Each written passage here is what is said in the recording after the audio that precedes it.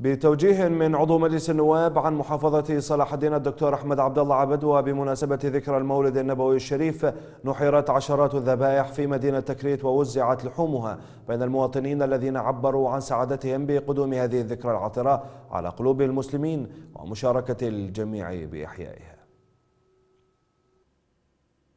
نهنئ الشعب العراقي بالكامل بمناسبة مولود سيدنا الرسول عليه الصلاة والسلام. وقمنا اليوم بمبادرة آه، من قبل النائب الدكتور أحمد عبد الله عبد الجبوري أبو مازن بتوزيع آه، الدجاج واللحم والفواكه